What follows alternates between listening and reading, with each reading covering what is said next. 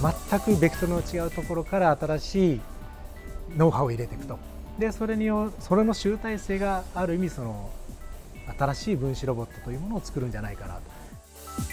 でサチュレーションしてる中でこれから GDP グロースだとか売り上げ上げていこうっていうんじゃなくて延長上にない未来づくりっていうのが必要なんですだからねますます実は研究者が必要になってくる時代が来るかなと。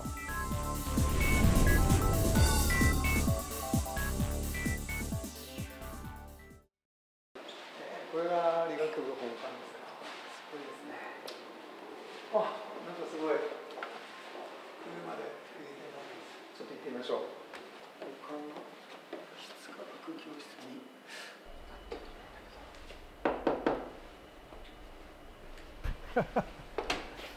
どうも、すみません。ご無沙汰しておりました。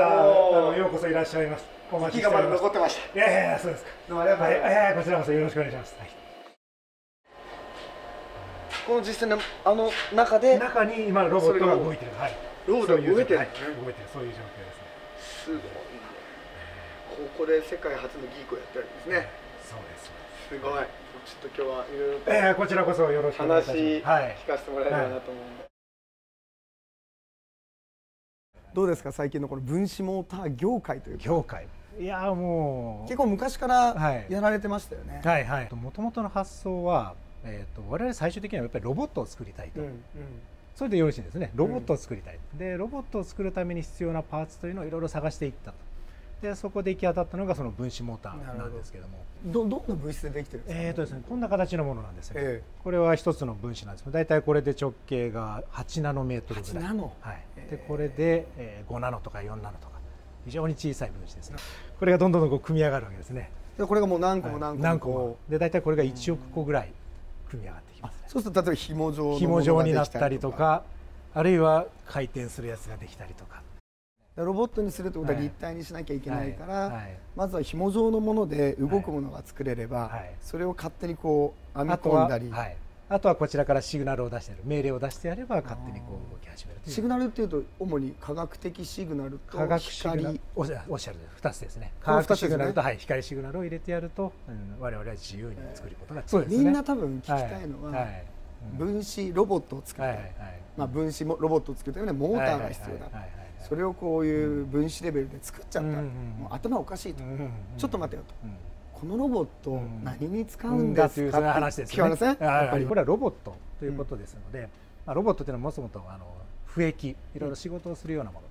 ですね。その分子レベルになってくると裾野が一気に広がる、今まで我々が手が届かなかったような空間に入っていけるなるほど。でそうすると何か面白い世界が生まれてくるんじゃないかなと。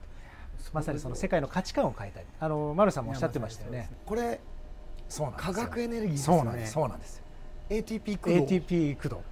なので体内にあるエネルギーさえあればどこでも動けると。これ分かります？ATP 駆動って。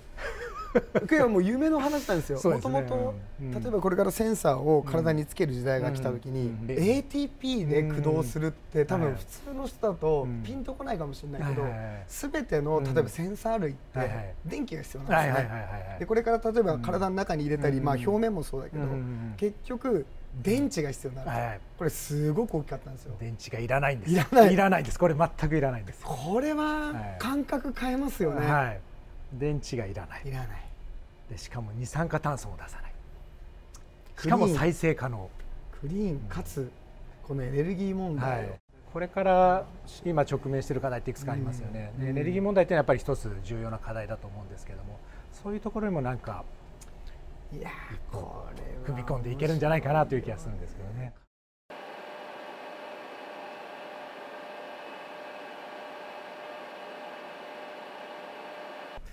そういえばあの、はい。私こんな本買ってしまったんですけど。ちょっと恥ずかしいのも これ結構付箋付箋ついてるじゃないですか。そうそうそう読んだんですか？いろいろ読ませて表面なんか最初のページだけね。いやいやいやいやいや。今までこう、うん。まあ20年前ぐらいっうんてすごく細分化されてったサイエンスの時代がたくさんあってすごく面白いノーベル賞級の発見ってあったんですよね。でもこれから世の中を変えていくためにはこのまあ、例えば分子レベルだとうん。DNA の話だったり、ATP の話だったり、うん。いろんなこう、うん。えー、と細分化された分野がうん。だんだん分かってきた、でも、うん。これを全部インテグレートししててそうですね。はい。で課題に対してこの、まあ、テクノロジーを使っていく、うんうんまさにこの分子モーターって、うんうんうん今までのうん知の巨匠が作ってきた上にしか成り立たない、それをで そうなんです。そうこれなんです。それがディープテックなんでだからもう、うん。まさにあなるほどなるのほど。加古さんがやっていうんる、うん。えーサイエンスの分野を僕はうん。ディープテックエリア、つまりこれが世の中に活用されたら、うん。すごいディープテックだよねこれは、っていうふうに言われる。そういう捉え方なんですね。そういう捉え方なんですよ。ビジネスマンがやっぱりテクノロジーっていうのがうん。一個の最先端テクノロジーがあれば、まあ、ビジネスになったりうん課題が解決できると勘違いしてるんですよ。よそうじゃなくてうん。大学がやっているこううん。ディープなうん。テクノロジーとうん例えば自分の会社が持ってるちょっと古いんだけうどんまあすごく使われてる汎用的技術うんこれを組み合わせると意外とねうん。面白いものができる。できるんっていうですよことですね。あだから一個ど。まあ未来の話をする前に一うん。個過去のー話でうん使ってたものをうんもう一回今のうん未来のテクノロジーと組み合わせるうんつまりこのうん。分子ロボットと何かがうん。つながった瞬間うんになんか面白い化学反応が起きそうな予感はしてるんです。これだけだとねまあビジネスマンからするとうん。さあどうこれからどうするるか。うん。なんかうんもう一個古いものがこうガーンとくっついた時になんかねそうですね面白いことそれはこれから。いや楽しみがはい楽しみに。ねう。僕はだから2002年はい。まあ学生のねうん修士2年の時に会社を作ったんですよ。だから自分の研究はどちらかというとバイオテクノロジーでまあ藻類の研究をしてたり微生物の研究をしてたんですけれども。結局大学の中のうん。こう知識うんうん。これが世の中に出ていかないと僕ら研究しててもこれ以上進まないなと思ってうん会社っていう形でリバネスを作ったんですね。だから会社経営っていうのを研究者自体がやってる会社なんですよ。うん。なるほどいまだに僕の半分ぐらいのうん仕事はうん。ギークな先生に会いに行く。これまあめめちゃめちゃ大事なんですよ。なるほどなるほど。これはね知識の仕入れって呼んでます。僕らの会社はいかに先生とダイレクトに未来の知識を一緒に作っていくかっていうのがすごく大事だと思っていてこの未来のうん。知識作りイコール僕は経営だと思ってるんですよ。まあリバネスさんもそうあの相当数の方が今ドクターを持たはいれてるんです、ね。もう半分以上は PhD よね。持ってます。ん。でこういう人たちが経営だとかうん。あ政治だとかうんさまざまな分野に入っていくとうん。まさにうん。まあ21世紀えー知財立国と言われているですね。うんこの日本がうんさらに GDP グロースじゃないんですよ。うん世の中を良くしたうん。国としてあの評価されるんじゃないかうんな。なとるほどなるほど。だからそれが僕は今経営というかうん。まあこの経営者もやっぱり概念形成がすごく重要なのでまあ未だにうん。まあ半分研究者うん。半分経営者みたいな形でやってますけどね。先生のもともとのバックグラウンドはい。って何なんですか？えっと私もともと生物生物物理系物理系系ですですね。はい。でそこからはいもっともっとロボット工学者が入ってきてでそれから DNA 工学者がいてあとバイオテクノロジーをやってる方がいて。